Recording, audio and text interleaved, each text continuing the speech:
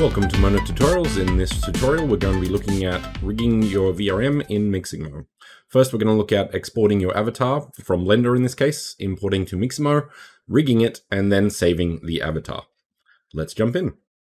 Okay, so we have our asset in Blender. This, of course, could be any 3D creation tool. Basically, the one thing we need to do before we export is make sure that the transforms are applied. So in this case, you can see that the scale is 111. We want to make sure that is that case by, in Blender, we go Object Mode, Control A, and apply all transforms. And that will make sure. The main thing is scale.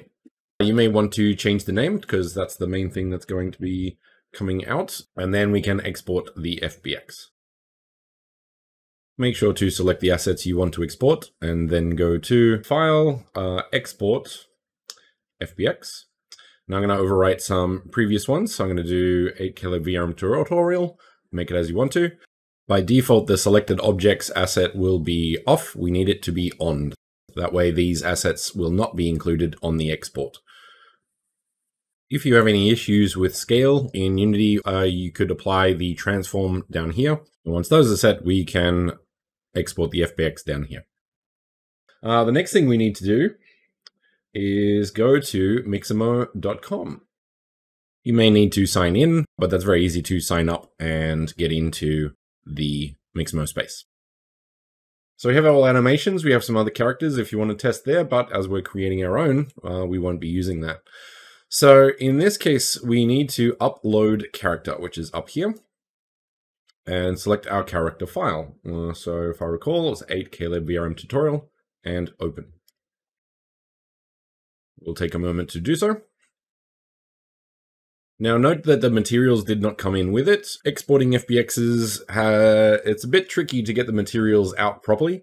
Uh, that said, it's also recommended to do the materials in Unity so you have full control over the features and assets and parameters in that. So they do things in a slightly different way to others.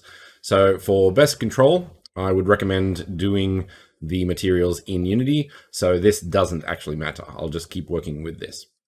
That looks good. So let's go next. After that, we need to place our markers. We can use symmetry. So if you have an asymmetrical character, you could actually apply these and it'll probably do okay with that. The other thing you can do is if you have a character with less fingers, uh, you can define uh, that as being the way to go. Uh, but as I have full five, I will make sure that it is standard skeleton. After we've made sure that these are the settings we want, we want to use these to apply where it should go. So chin needs to go on the chin, wrists on wrists, elbows on elbows. You or I may want to put the knee here. But what that will do is Mixamo will take into consideration the model that this is applied to, and the bottom of that is the floor.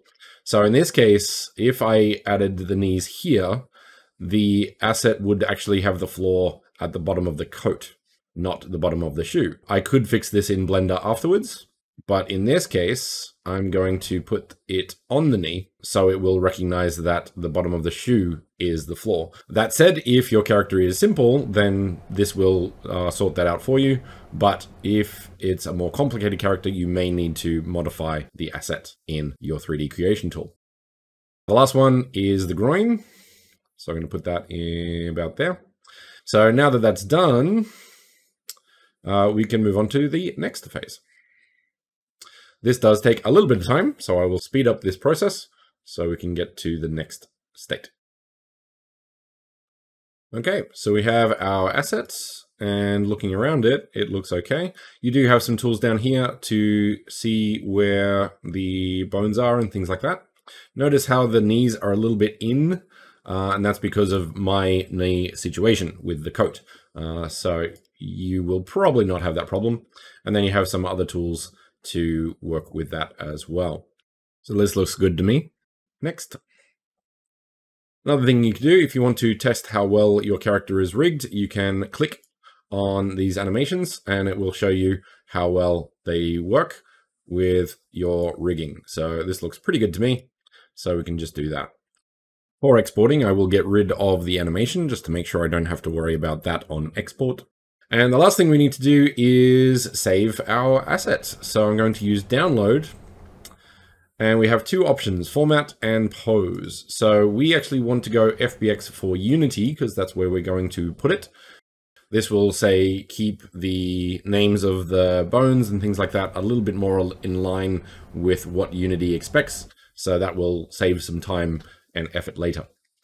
The other thing is T-pose. So if your character is in an A pose, that would be in the original pose. But as noted, uh, we need a T-pose for our VRM import process. So this is one way to export your asset as a T-pose, uh, even though you modeled it as an A-pose. So this allows us to do that here. Once those two are set, download. And then we go save. So rigged in Mixamo. Uh, save. And yes, in my case. That will basically save out your model that has been rigged in Mixamo. So once again, the quality is maybe less accurate than if you rigged it or weighted it yourself, but it is much, much faster. As with anything, choosing speed with lower quality or doing it manually for higher quality is the choice we have to make on pretty much every asset we want to make. That said, I will leave it at that. Have a nice day and happy building.